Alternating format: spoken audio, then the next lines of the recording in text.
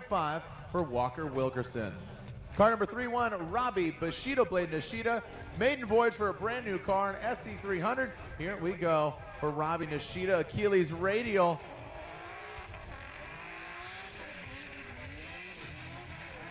Wow, looks like he's got tons of horsepower underneath the hood. Oh, a correction! And straightens out, reinitiating. Kind of a weird mistake there, locking it up. As Robbie Bushido Blade Nishida makes his way back up the hill.